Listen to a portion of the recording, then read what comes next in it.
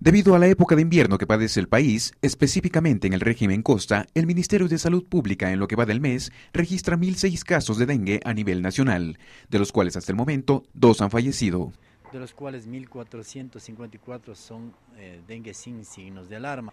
136 tienen signos de alarma y 16 casos han sido identificados como casos graves. Además, hay dos casos fallecidos. Los datos que se tienen de la zona 6 del país, en la provincia de La Suay se han registrado dos casos en el cantón Ponce Enríquez, en tanto que en Cañar y en Morona Santiago el porcentaje asciende a 25 casos.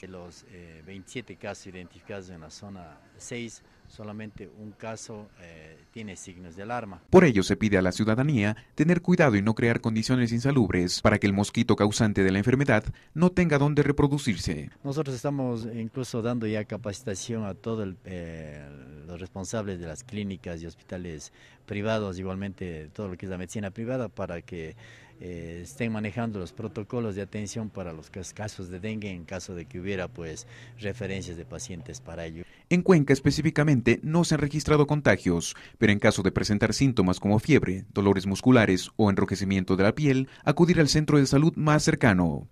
Yamil Bustán, El Informativo.